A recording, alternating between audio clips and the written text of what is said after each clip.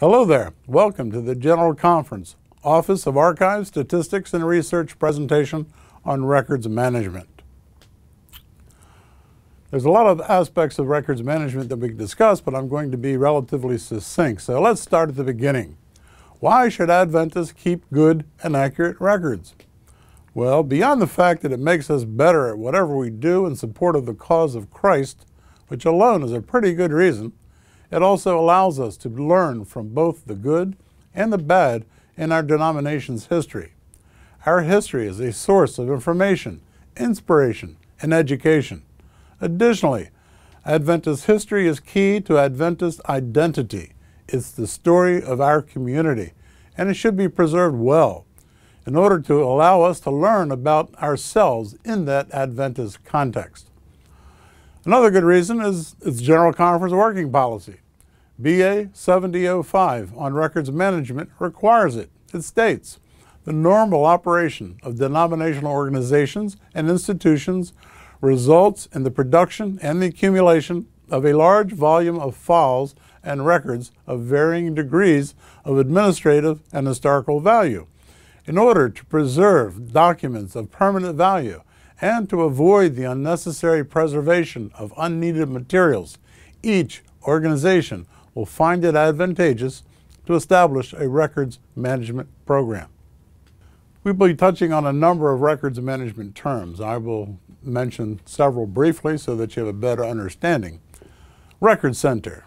Record Center is a central repository in which an organization can store and manage all of its records.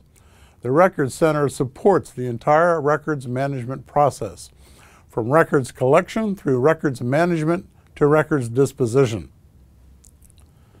Archives. An archives is an area utilized for storage of inactive records, manuscripts, papers, and memorabilia which are retained permanently for historical, legal, research, or social reasons. Also, an archives is the agency responsible for selecting, preserving, and making available non-current records with long-term value. Now the term is disposition, which is the final state in a record's life cycle, involving either destruction, transferred to inactive storage with destruction at a specified later date, or transferred to your organization's archives for permanent preservation. Document. A document, very simply, is recorded information regardless of the form or medium of it. Filing system. A filing system is a planned arrangement of records designed to satisfy the reference needs of the people who use them the classification scheme which structures records so that they are readily accessible and complete. Life cycle. Life cycle is the concept that the paperwork of an institution goes through in distinct phases. Records are created, records are used for some purpose, and records are stored or filed for future reference, evaluation, and eventually disposed of or transferred to an archives for permanent retention. Records inventory. It's an identification and evaluation of the records possessed by an office for the purpose of creating a retention schedule. Retention schedule. A records retention schedule defines how long records must be kept and provides disposal guidelines for how records are to be discarded, determined by the record type in the business, legal, and compliance requirements associated with your data. Then we have principles of records management. There are a number of principles. These are all espoused by ARMA, which is the largest record management organization in the world. First principle I'd like to mention is the principle of compliance. A record-keeping program must be constructed to comply with applicable laws and other binding authorities, as well as your organization's policies. The principle of availability. An organization must maintain records in a manner that ensures timely, efficient, and accurate retrieval of needed information. Principle of retention. An organization must maintain its records and information for an appropriate time, taking into account legal, regulatory, fiscal, operational, and historical requirements. Then we have the principle of accountability. And that requires that an organization assign a senior executive to oversee record keeping program and delegate program responsibility to appropriate individuals, adopt policies and procedures to guide personnel, and to ensure program auditability. And there's also the principle of integrity. A record-keeping program must be constructed so that the records and information generated or managed by that organization have a reasonable and suitable guarantee of authenticity and reliability. Also, the principle of protection. Record-keeping program must be constructed to ensure a reasonable level of protection to records and information that are private, confidential, privileged, secret, or essential to business continuity. And principle of disposition. An organization must provide secure and appropriate disposition for records that are no longer required to be maintained by applicable laws and the organization's policies. And the principle of transparency. The processes and activities of an organization's record keeping must be documented in an understandable manner and be made available to all personnel and appropriate interested parties. Next topic is goals for record management. Policies and procedures. To produce a written document that outlines your organization's records management and archival policies. And produce a second or attached document that outlines the procedures that you will use to fulfill your policy. Records inventory, very essential. You conduct a general records inventory to find out both what records your offices are producing and keeping, and what record types exist and the approximate volume of records that are stored within each office. Designate a filing system. First, decide what type of filing system you need. What works best? Paper and filing cabinets, film, electronic, or some combination of those. And follow it to the degree that is most practical and feasible. And a record storage facility. Choose a facility for the storage of records that are useful but are no longer needed in the office. It may be on-site, it may be off-site, but be sure that that facility is secure and protects your records. And a records retention schedule, a core ingredient in records management. Prepare a document that states your record retention policy and the procedures needed to follow it. Keep that document within your retention schedule. Vital records. Vital records are records without which you could not effectively operate. This includes articles of incorporation, deeds, constitutions and bylaws, minutes of boards or governing committees, property records and legal documents, and issues of an intellectual nature such as trademarks and copyrights. There are record-keeping challenges, of course. Uh, managing different media types is certainly one of them. Records may be paper or digital and kept on hard drives, in the clouds, or even in remote locations. Another is record retrieval. One of the most difficult things to do in records management is to be able to retrieve records every time you need them. And storage space. Whether your office is just paper records, digital records, or a combination of both, securing storage space for them can be difficult at times and re record retention. That's the period of time that you keep a record, and it can be a short period of time, a long period of time, or forever, depending on the record type. And of course, there's maintaining the security and integrity of your records. It requires constant vigilance and measures needed to be taken in order to ensure record security. Social media. In this digital age, an office's records may very well extend to and include is social media posts. Using your own device. Again, in this, this digital age, we have smartphones, we have tablets, and there are times that records are kept on them. We do not recommend that for a variety of reasons, security being a primary one. Archiving websites. It's a necessity and an ongoing task as URLs come and go. Archiving electronic data. ASTR treats electronic data in the same manner as paper data, security, access, and retention periods. Record retrieval issues. Create an index of records in the Archives and Record Center. Organize your records index by department and record type. That helps greatly when doing searches and retrievals. After processing records into the Record Center, Archives sends a report to the department or office that sent the records, acknowledging those records have been taken care of. Store the boxes in the Record Center or Archives by box number rather than by department. Boxes will be easier to find and will result in a more efficient use of space. Additionally, we found that it's a security measure because anyone looking at those boxes cannot tell what department they belong to.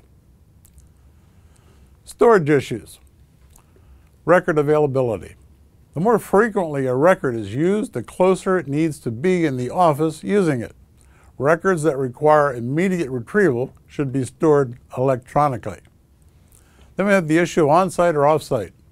Well, the amount of space available on-site might not be adequate for your record retention needs. Evaluative factors to keep in mind include space needed now and needed for the future, and also storage fees that are charged in off-site situations, and the approximate frequency of record retrieval.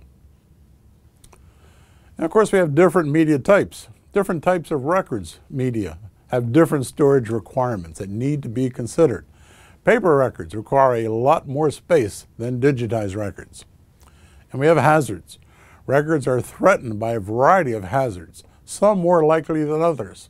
Some of the most common hazards are fire, water, humidity, mold, theft, vandalism, vermin, and the mishandling or misfiling of records. In order to use your resources to their fullest, evaluate the threats to your records and protect against the most likely threats. Storage options. Here we have several also. We have self-storage, keeping it on site. The pros are that you retain control of your records, and it's easier, more immediate when you want to access those records. The cons are that you need to find and maintain adequate space. Secure that space, and you have personnel and administrative costs associated with it. Commercial. Commercial record storage, you have pros and cons with that also. Pros, lower administrative cost and lower cost per box for storage, depending on the volume. The cons are that you have a higher cost of retrieval. Access to records are less convenient. There's no physical control of those records because they're under someone else's custody. And the cost to retrieve records if you discontinue service. And then we have cloud storage. Pros are there is no cost for the server. Records are readily available for a wide area. The cons are security. You don't control those records, and you have to concern yourself with the reliability of the service provider. Creating a record retention schedule. Inventory is an issue. Inventory all current records, including all media types, maintained in the office to which the record retention schedule is to apply. Creation. Create a master list of record types and draft a preliminary retention schedule. Determine. Determine your retention periods on the basis of legal, administrative, and historical value. Collate. Collate all inventory forms and put information into a draft record retention schedule. And a draft. Draft retention schedule, once it's devised, is to be reviewed, edited, and circulated to management and appropriate departments, including legal. Approvals. Now, with department and legal approvals, your retention schedule becomes official until there is a future revision. Review. Be sure to review the retention schedule at regular intervals, in, in effect annually or biannually. And I'll give some tips. Start small, one department or one record group at a time. And remember that both paper records and digital records have the exact same record retention period. There is no difference in this respect, despite the record medium. One way to ensure failure is to try to do everything all at once. Make the retention schedule as generic as possible. Make the retention schedule, as well as your records management system, as transparent and easy to follow as possible. The measure of its success is the degree to which it is understood and followed. This section I call the what to's. what to keep. Correspondence dealing with policies, administration, personnel, projects, statistics, final travel itinerary, set of original form letters, minutes produced by your department or for which someone in your department is the chair, case files, topical files, material published by your department, such as AV material, videos, photos, podcasts, a copy of brochures and reports. And of course, what to discard. Routine requests, catalogs, brochures, services, circular memos from other offices, correspondence concerning travel planning, non-SDA published or duplicated material, temporary financial records, phone bills, purchase orders, monthly financial statements. And what to archive. Think of your archives as being your organization's corporate memory. You would want to save records portraying beginnings, changes, endings, dealing with cases, events, problems, projects that reveal the purpose and function of your organization and that document your organization's relationship with other denominational organizations. And accreditation. Start with the background. You'll remember the GC working policy I cited at the beginning of this presentation, BA 7005 on records management. Well, ASTR was receiving requests from certain divisions as to whether or not they were keeping records, such as their vital records, in the manner that we would recommend. In responding to these requests, we sought a means of uniformly evaluating record keeping while taking unique considerations into account. Our response incorporated a record evaluation process, which provides records management benchmarks that we have termed ASTR's accreditation program. ASTR now has a track record of visiting division headquarters, providing counsel, training seminars, and records management consultancy to support division efforts in establishing and maintaining records management programs. We have now accredited division record keeping programs on five continents. You might ask, why accreditation? Well, the task of accreditation is based on the philosophy that each denominational entity operated in the name of the Seventh day Adventist Church assumes the dual responsibility of fulfilling expectations of its constituency and of supporting the church's mission.